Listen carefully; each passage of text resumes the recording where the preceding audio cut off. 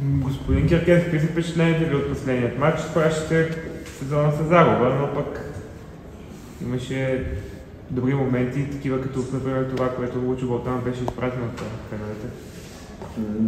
Was uh, tonight was the game for Lucho Bartanov and for some young boys to to to make debut and feel uh, this stadium.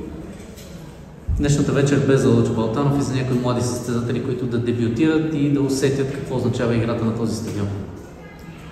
The after cup, our last three games, we know that, and we make the plan.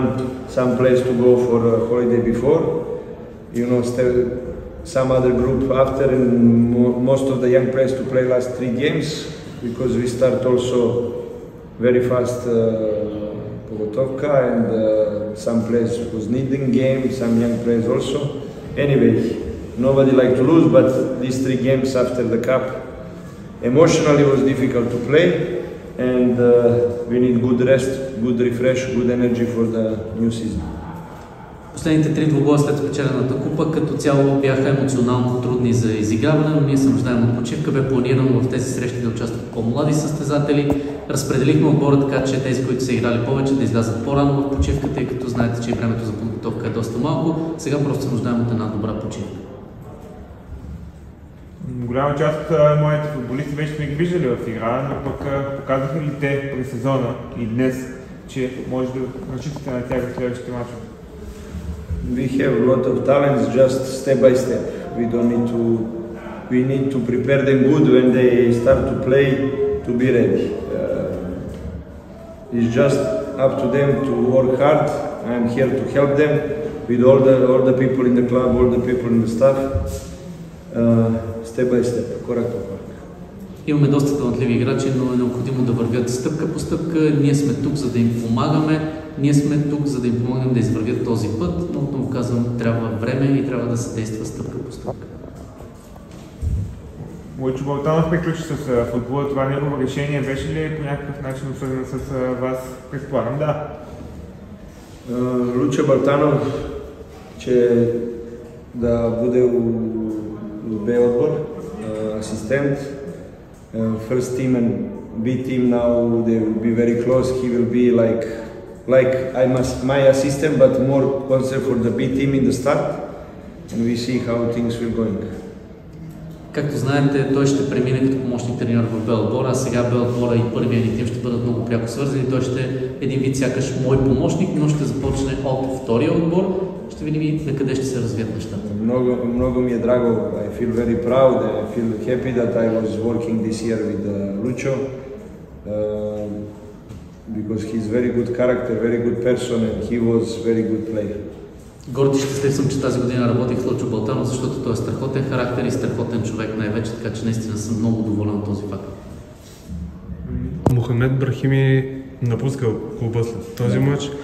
А, Под ваше ръководство в последните месеци той започна да се връща в формата, изигра основна роля дори в финала, в който Ботев спечели. Ваше ли бе решението той да бъде освободен и да не му бъде предложен нов договор?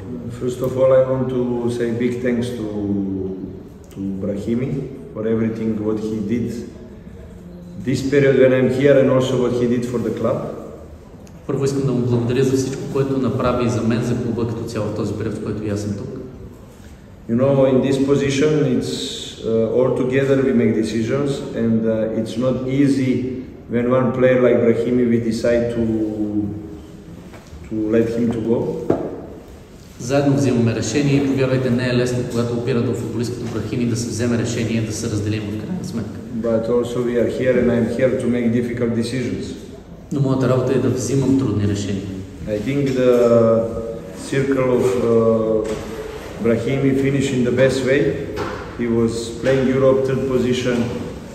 Difficult part that he was injury, come back, we helped him, he helped us to the cup and I think was the best moment for him to to try to find something else.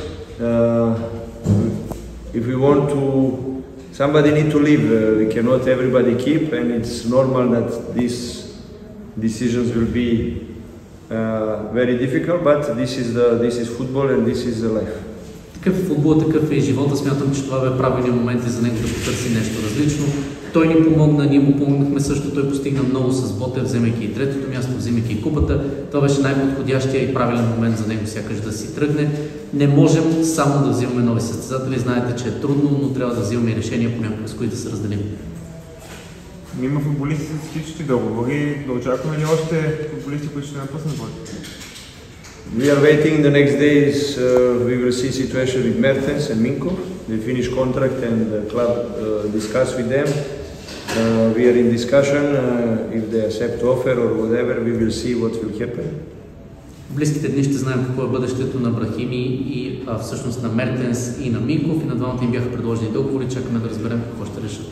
We see for other players, for sure some players will go loan, and uh, we expect to bring. Uh, we are doing and planning and uh, watching the players to, and we expect to make some new transfers uh, this summer. Очакваме нови попълнения. През лятото ще има и състезатели, които да преминат под найем други отбори. Добре.